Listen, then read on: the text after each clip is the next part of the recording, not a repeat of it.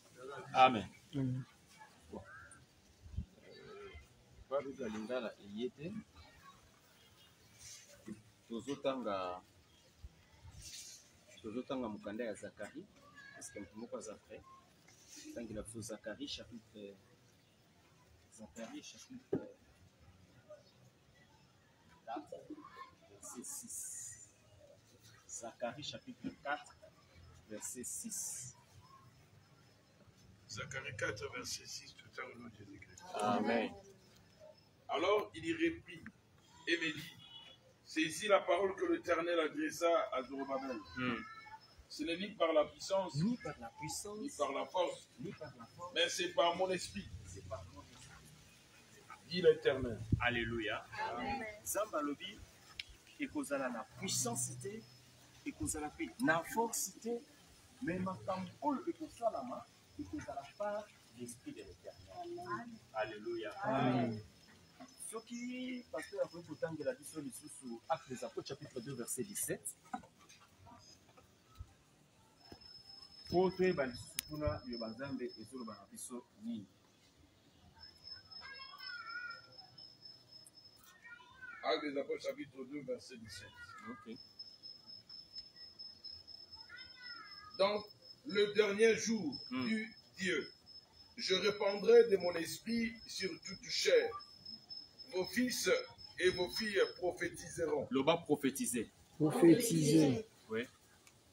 Vos jeunes gens auront des visions. Loba vision. Vision.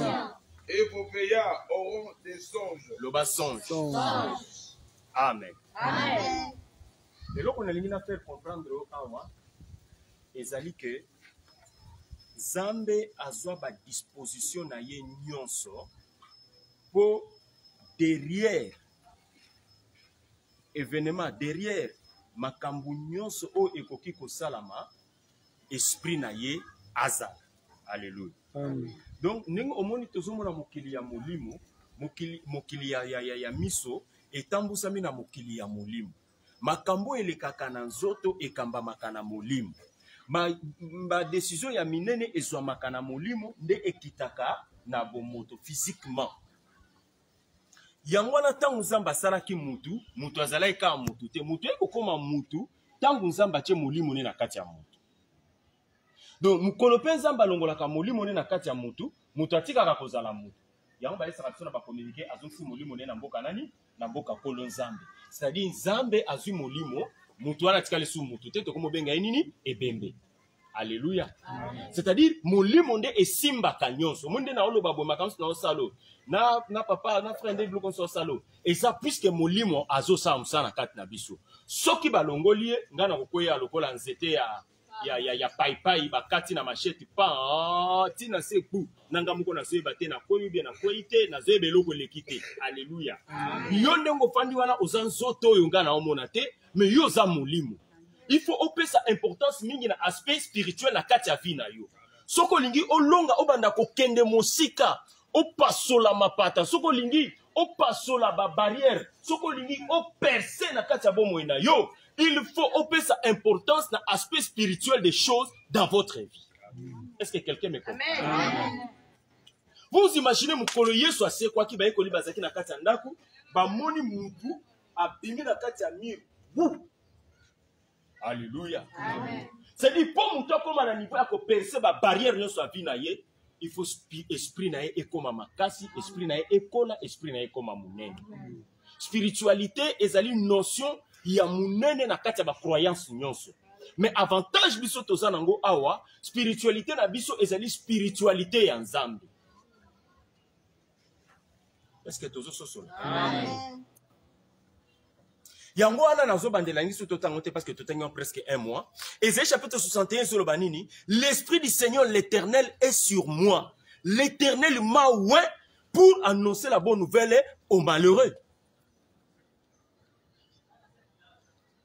totalisi yango semaine omumba na delvo je crois deux fois en loin ya large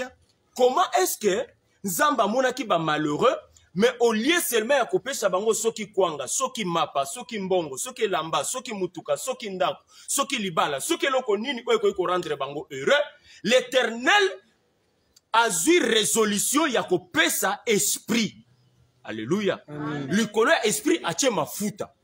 c'est-à-dire puisque ayebaki cause ya malheur ezali nini eza spirituel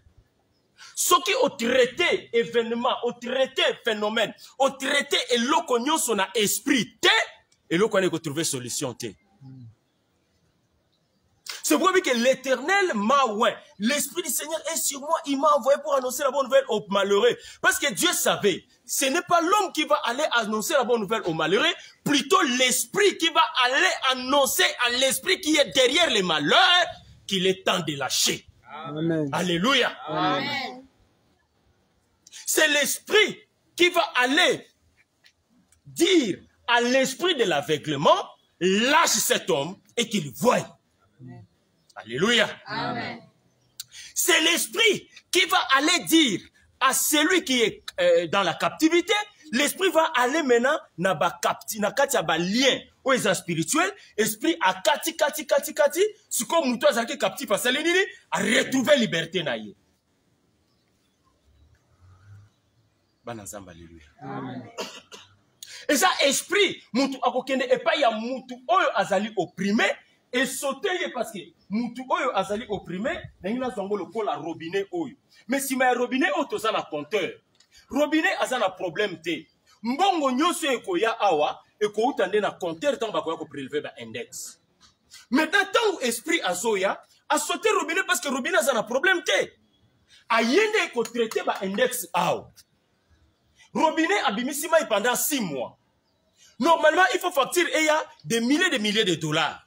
mais esprit aye awa na index atravaille baindex esali 00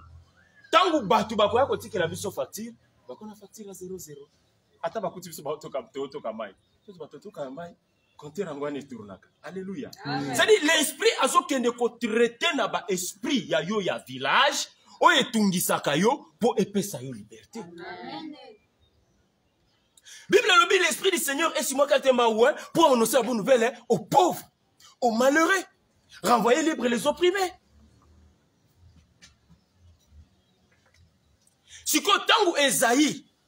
aprofetizaki likolo na, na, na, na, na makambo oyo joseph abotamaki nanu te marie abotamaki nanu te nangi na yeso par là yesu abotamaki nanu te me ntango yesu aye akuti bamalheureux alleluya akuti baopprime akuti bapauvre akuti baaveugle akuti ba prisonnier ba aveugle oyo bazalaki ba aveugle nini spirituel ba prisonnier oyo bazalaki ba prisonnier nini spirituel ba opprime oyo bazalaki ba opprime nini spirituel sikoyo yesu ntango aye bapesi ye rulo akei kozwa kaka makambo oyo ezayi alobaki afungoli yango alobi l'esprit du seigneur l'éternel est sur moi car l'éternel m'a ouais pour proclamer la bonne nouvelle aux malheureux eloko yesu ngai koloba boye bomoni ngai oyo naza na eloko akopesa bino te bamalere mpo bokóma na, na, na, na bonheur mais molimo nzambe atye likolo na nga il a quelque chose pour vous alleluya bien me naza na motuka kopesa te mpasi ngai mpe naye na motuka te me molimo nzambe atie likolo na nga akopesa motuka naza na libala akopesa te bana nga na bakoli te mpo na baliso bango me molimo nzambe atie likolo na nga akopesa libala naza na visa akopesa te parceke nga nasala na migration te nasala mpe na affaire étrangère te me molimo nzambe atie likolo na nga akopesa visa parceke problème na yo eza spirituel est ce que moto moko azo comprendre yesu sachant ke baproblème ya bato nyonso oyo ezalaki spirituel yango wana esi bango makambo ya koyesa bino ya sika lisusu eza te tozwa kaka oyo ezali alobaki yango wana ntango asisi koyesa bango sans ce que j'ai aimé c'était l'attitude de jésus moi ce que j'ai aimé c'était ce n'était pas vraiment ce que lui il avait lu mais c'était son attitude Après avoir fait la lecture, Jésus est retourné là où on lui avait donné un siège. Il s'assoit et tout le monde en train de, était en train de le regarder. Parce que normalement, comme il avait lu, il devrait maintenant passer à la deuxième étape, qui est l'étape de quoi De l'explication de ce que lui avait lu. asengelaki la makambo c'était ça dans la coutume c'était ça na kati ya momesonome na kati ya baeglize ndenge tomonaka ma sœur tanga passage te ntango yo sisi ofandi ti ngai moto natindi nasala passage mpo nasala nini nabanda kolimbola makambo oyo moto atangi yesu alimboli te o oh jésus ça c'est ce que j'aime nakolimbola suni parce que ezayas alobaki yango nalimbola nini yesu azongi afandi hey! Eh! bazotala ye bazotala bango bato bamoni ere bande okende ah, meti bango tobima ere ni azomona moi te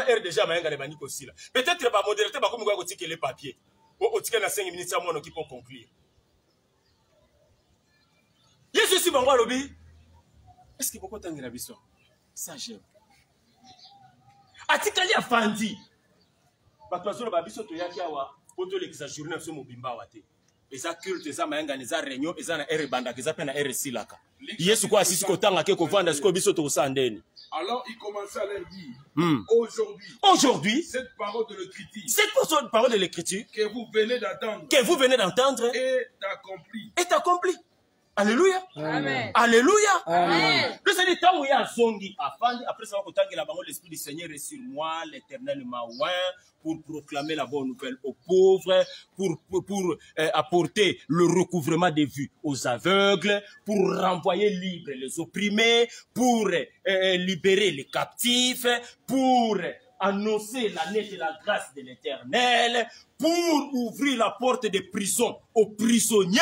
Tango Yesu asilisi boye azongi aye kofanda. Tango bazozela alimbola ayesi bango abi makambo oyo nauti kotanga ekokisami lelo. Amen. Alléluia. Amen. Alléluia. Amen. Eloko ngai naye koyebi biso na ntongo lelo eza nini? Eza ke Ezayi ntango atangaki yango alekaki. Aza suta akufa. Amen. yesu ntango atangi makambo oyo yesu aza lisusu te omwe na nzoto boye yesu aza lisusu te me pourkui baefasaki yango na kati ya bible te pourkui balongolaki yango te ezala kozela yo ezala kozela yo ezala kozela ngai alleluya mpo mokolo biso mpe tokotanga yango toloba cette parole des écritures est accomplie aujourd'hui Amen. Alléluia. C'est-à-dire parole ya écriture oyo etika na kati ya Bible soki yo oza malheureux tanga liloba oyo ntango okosilisa loba liloba ekokisami lelo c'est-à-dire malheur na ngai esali nini esili soki yo oza aveugle loba ke parole oyo ya écriture ekokisami lelo aveuglement na ngai esali nini esili soki ozo se sentir na kati ya pauvrete loba parole oyo ya écriture ekokisami lelo pauvrete na ngai abou yeah. Alléluia. Amen. Alléluia. Amen. Yahweh que toute écriture est inspirée de Dieu pour convaincre, pour corriger, ainsi de suite. liloba nzambe etikala na liloba nzambe te toza na besoin na batelefone te toza na besoin mpe na kati ya bapapier na kati ya babible te liloba nzambe mpe evanda na kati ya motema alleluya ifo esakomplisaka na kati ya bomoi na yo ifo ekokisamaka na chaque instant na kati ya vie na yo liloba nzambe eza eloko ya teke totangi tokangi toke kotika na ndako mpo to otafongola yango sur dimanche non liloba nzambe eza ndenge tozokonsome yango boye ezopesa biso vie Alléluia. Amen. Alléluia. 2 Timothée 3, 16. Hein. Toute écriture est inspirée de Dieu. Écriture nini? Écriture Esaïe atangaki, écriture oyo Yesu atangaki, écriture oyo yo na nga tozotanga lelo, balobi eza inspiré de Dieu. Utile pour enseigner. ezo enseigner yo malheureux ezo enseigner yo pauvre ezo enseigner yo captif ezo enseigner yo prisonnier ezo enseigner yo opprimé ezo enseigner yo moto ya maladi ezo enseigner moto ya sida ezo enseigner moto ya cancer ezo enseigner chômeur ezo enseigner célibataire ezo enseigner moto nyonso aza na kati ya badifficulté na kati ya susi na kati ya baproblème ezo enseigner moto aza na bamari de nuit ezo enseigner moto azotungisana bafemme de nuit ezo enseigner mutu oyo bazo zela elobi lundi mpo bakata ye mutu eza koenseigner yo pour enseigner pour, co pour convaincre mpo econvaincre yo moto ozo croire te ke makambo eza, eza ya solo econvaincre yo moto ozoloba oyo eza biloko ya baezai eza biloko ya bayezu biso bakongole na kati ya makambo oyo toye koluka nini eye mpo econvaincre yo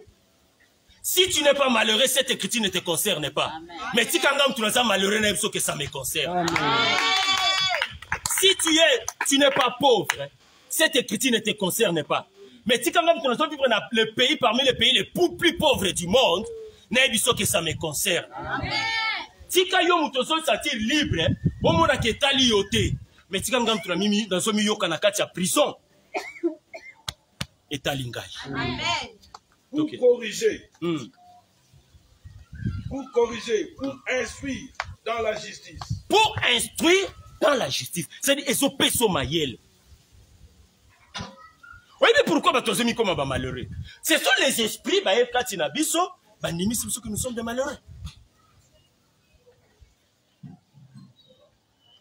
wana eza mateya mosusu me nakopesa oka exception mwa moke cetadi omoni makambo elekaka na kati ya bavi na biso tala tala mingimingi ntango tolalaka toloti hmm? soki tolamuki na ntongo soki toloti ndoto epesi somo elongi na biso ezalaka ndenge nini ezalaka mawa mawa nazobanga nde namoni lelo nayebi te nakende mosala to nakende mosala te parceke namoni namataki likolo ya moto mais remorque etamboli likolo na biso nabima to nabima te c'est les esprits étaient venus basali œuvre basali mosala batie semence bamarke kufa na kati ya bomoi na nga siko ngai nalongoli confiance na ngai naloba na nzambe napesi confiance epai na bango nakomi kocroire na biloko bango bayebisi nga ke ngai naza ndoki ke ngai naza nganga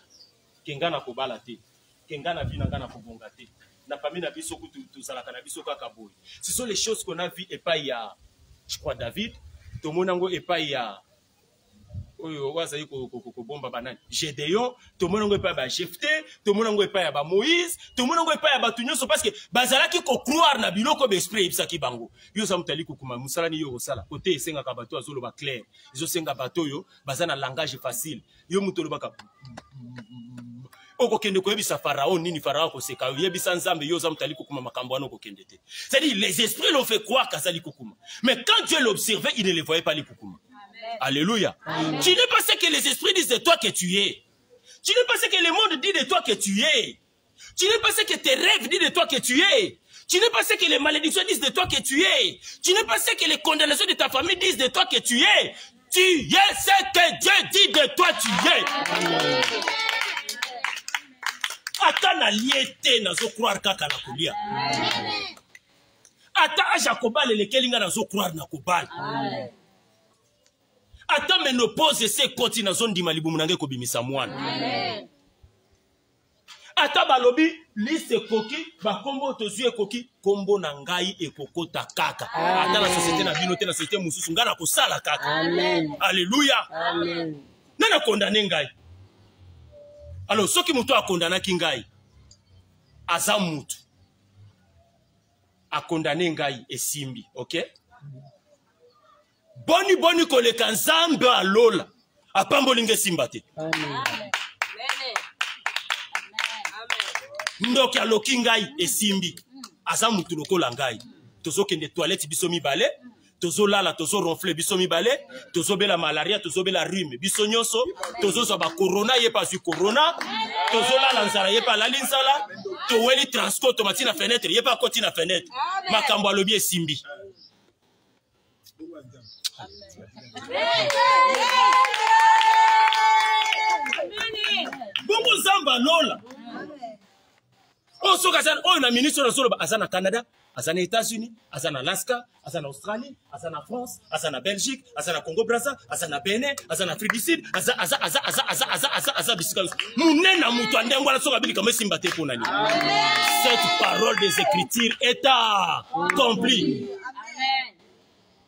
wana mandoki bato balobi yango te mm. moto alobi yango aza nzambe abomoi nzambe alola nasili so ndimela siko bandoki loba nasili so ndimela siko bandoki nabandi siko kondima oyo oh, nzambe na ngai alobi aleluya nasilisi kondimela bango sefini ngai na bango ok jusque là nandimaki eh, noko na biso vraiment ye asalaka jete akokomisa motu lipela wana nandimi me nandimi mpe na oyo akoki kolongola lipela lipela ezongi motu alleluya atiaki mabanga na kati ya libumu wi nandimi ekotaki me nandimi mpe motu akoya kolongola mabanga wana akotisi mwana nayoki mama moko azonga alobi akepa mopa ya munganga munganga bayebisi ye mama oza na soki kiste soki fibrone ya monene ti plus ezokola baya mama ekoli fo bapasola noki sino te ekokufa alongwe mpa monganga wana ake mpa monganga mosusu babi mama oza na mwana ya 4 kilo ntango no ya kobota ekoki aboti eloko oyo na monganga mosusu bamonaki ezalaki soki fibrone awa koto ebimi mwana aleluya mokolo asimbi bebe na ye bake bakute na doktere ya bafibrone atuni mama basali yo deja abia basali nga deja abia oza na nzambe obiki abia papa naa na nzambe na biki mwana yango abotamaki 4 kilo 300 aleluya botye fibrone na ndimi nazondima mpe oyo akokobongola fibrome na mwana Alléluia. Amen. Alléluia. C'est ça Dieu, c'est ça Dieu. Tout ce qu'on telengana d'église en église, de prophète en prophète, de, de, de, de, de ngomba en ngomba, de, de, de ndaku en ndaku. Arrêtons ça. Alléluia. Tous les liloba na zambe, to lia, to mela. Et banda kati na biso, et banda ko faire vivre biso. Tout ce qui s'est révélé pas mal. Yesu asisi kotanga fandi na ye. bandi koyembele papa moteyeyeye liloba na nzambe kokakola yango te tiya tiya tiya atikala azotala bango kaka abilobo nati kotanga eza yango na bolimboli te ekokisami lelo nzambe apambola bino yesu akei aleluya aleluya sikoyo nyonso ezosalama na nini nyonso ezosalama na esprit ya nzambe oyo atiaki likolo yango wana totangi na kati ya mokanda ya zakaria chapitre 4 verset 6 balobi ce n'est ni par la puissance ni par la force mais c'est par mon esprit Amen. Alléluia. Amen. Yesu amonaki eloko mosusu akotikela bayekoli na ye te avant akende. atali bango ndenge bavandaki asouffle likolo na bango abi recevez l'esprit c'était pour leur dire awa bino bozokende eloko ekoresiste na bino lisusu eza te ezala mai ezala mbonge ezala nini ekoki kotelemela bino lisusu te boyamba molimo sadi soki oza na molimo mosantu na nzambe eloko ekozalela yo matata na bomoi na yo eza te aleluya bakobwaka biloko na yo libanda lendi mardi ka moto abwakaki yango aye o oh, mama nayebi te eloko etungisi ekosaki ngai eh, bafami na ngai bazolinga kokota makambo na biso bakabola ngai na mwasi na ngai eh, naye bolimbisa ngai eh, taba na bino yango na meme naye mpe na, na nsoko bozwa bozongiselaka mwasi na ngai moto aza na molimo na nzambe molimo akosalele makambo aleluya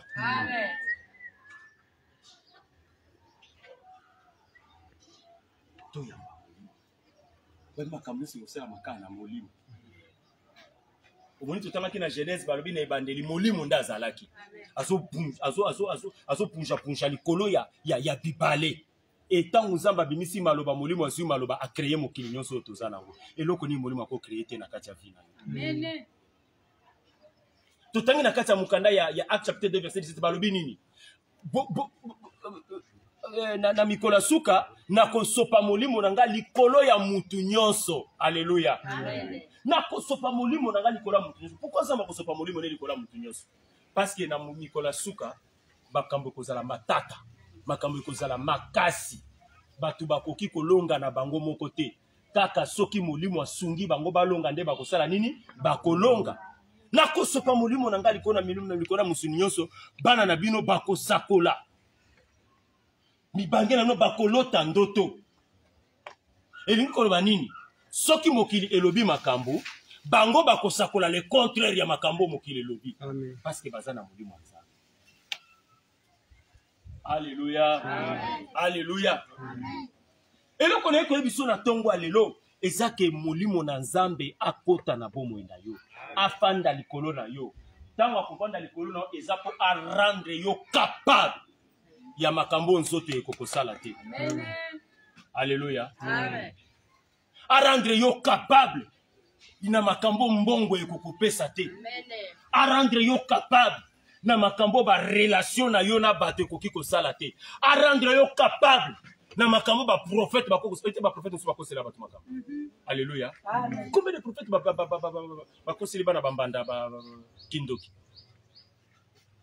baboki bana bato libanda bakomi kolala libanda bakomi kotelengana pourkui parce que prophète alobaki bana na baza bandoki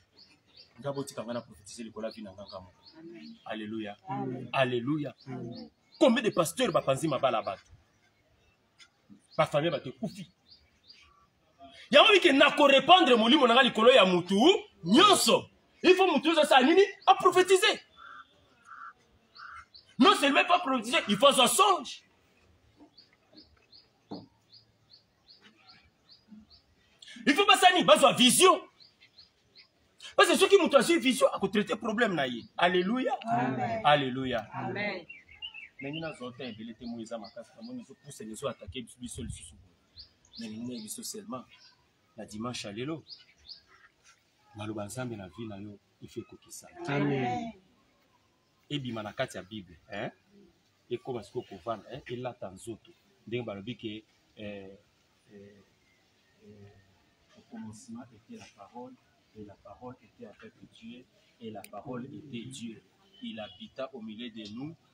plein de grâce et de puissance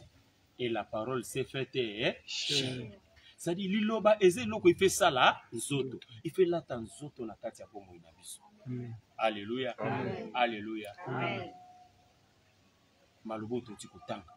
ekokisami lelo na kati ezali alobaki yango aleki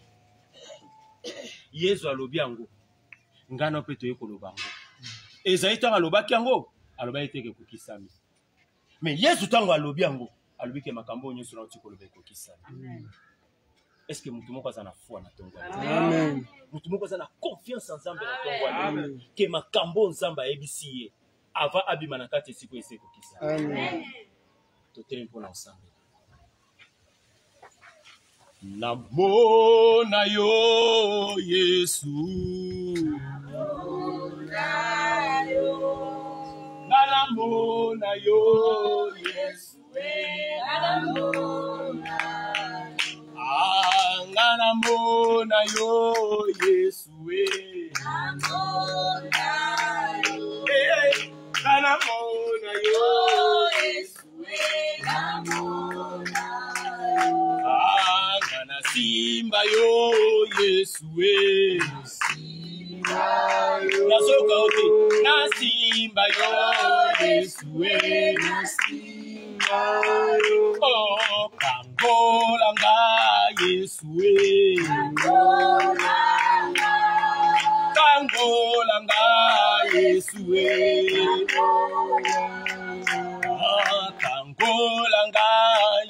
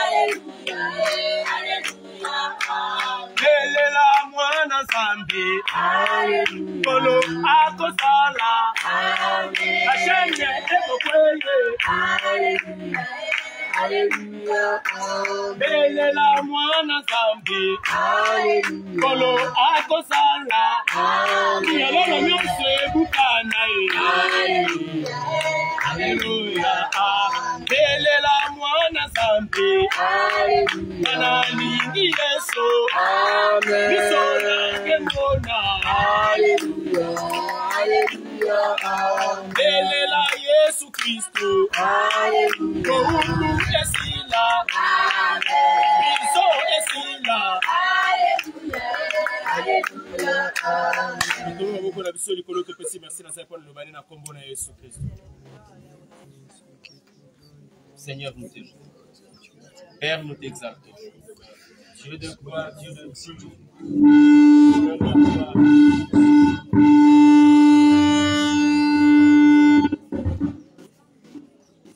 batonzi yo nakumisi yo zamba lola mokonzi na bato koyetela nzela na yango tosikola nzela na yango tokambola nzambe tata na biso lokumu ezongela yo nkembo ezala epa na yo maloba na yo tye na mitema lelo mpo ekokisama maloba na opesi na biso lelo mpo ekokisama makambo ozali na bomoi na biso nzambe lelo ekokisama bandoto olokisi biso yesu lelo ekokisama mamanizela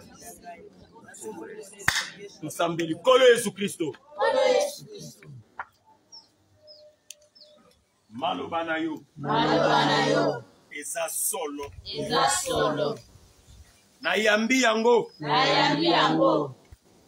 nandimi yango nandimi yango ekokisama ekokisama maloba na yo maloba na yo nayambi yango nayambi yango nandimi yango nandimi yango ekokisama ekokisama na molimo na yo na molimo na yo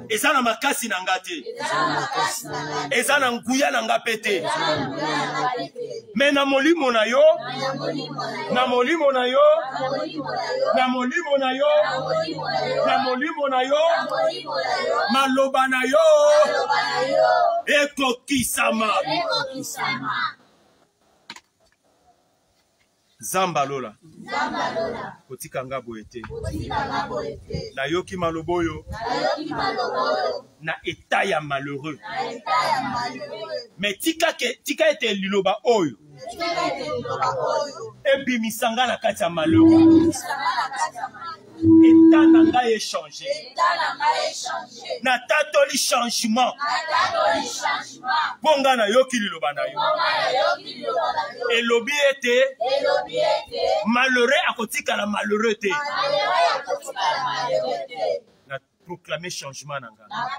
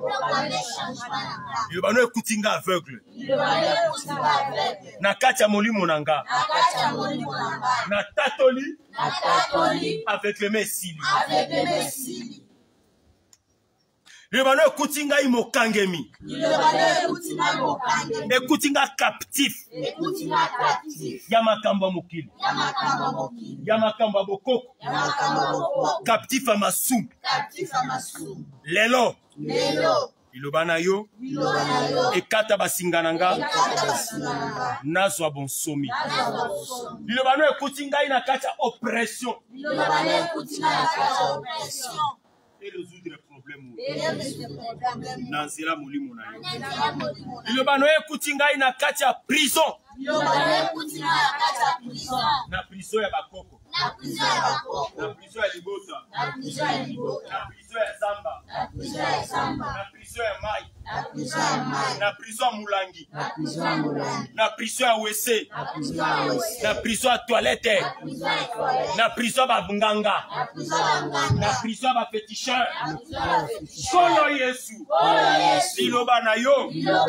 ebimisa nga lelo ebimisa nga lelo ebimisa nga lelo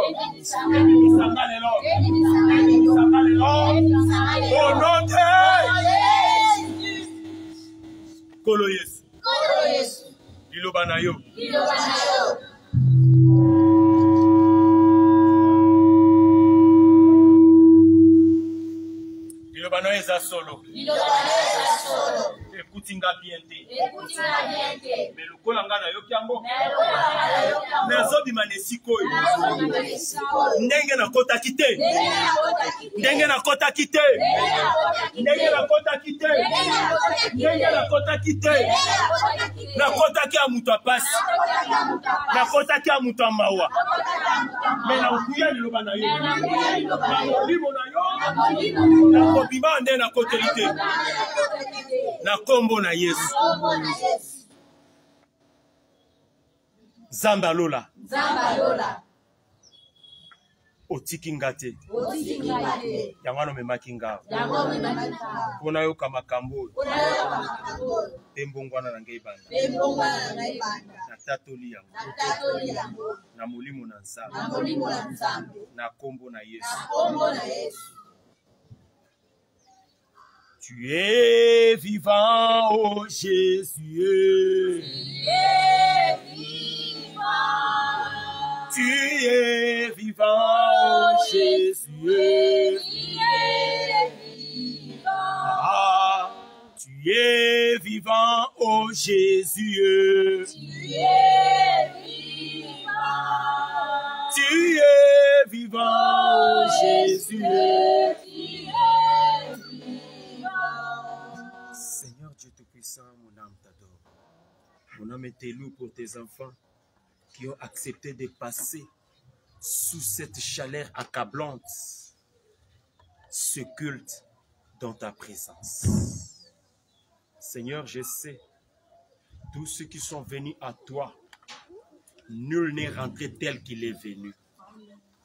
Parce qu'on ne te rencontre pas